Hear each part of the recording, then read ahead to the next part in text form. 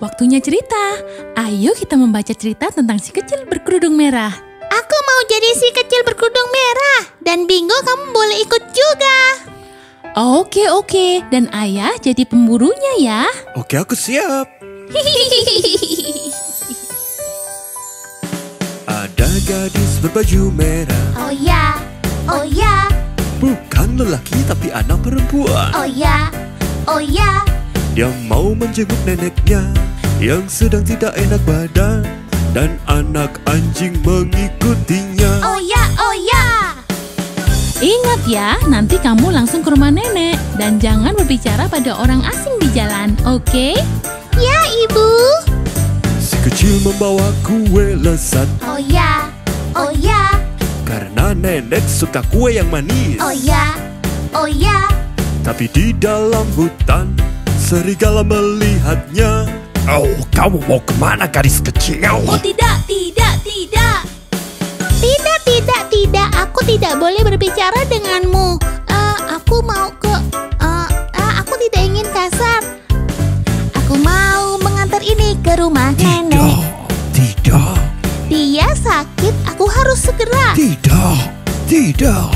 Si kecil lalu pergi, tapi serigala bilang, Ya,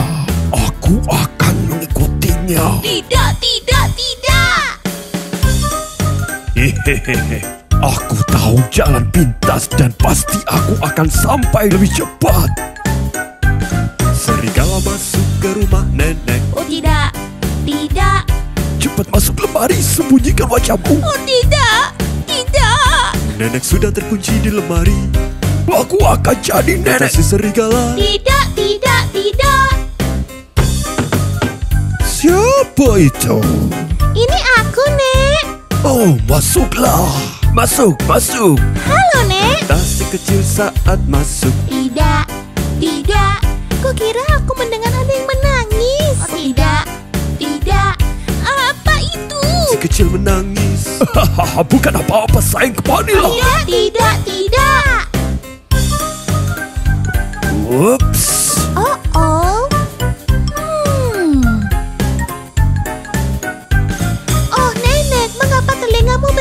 Iya, iya. Oh, Nenek, mengapa matamu besar? Memang, memang. Oh, Nenek, mengapa gigimu besar? Oh ya, memang. Tidak. Bagus untuk memakanmu. Bingo. Si kecil menangis. Oh, tidak. Tidak. Pemburu memotong kayu di dekat rumah nenek. Tidak. Tidak.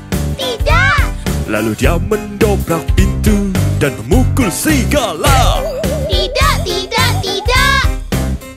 Kamu serigala yang nakal, pergilah dan jangan pernah kembali lagi. Pemburu membebaskan nenek Oh ya, oh ya, dan si kecil. aku penggemar terbesarmu. Oh ya, oh ya, ini salahku. Kata si kecil. Aku tidak mendengarkan ibuku.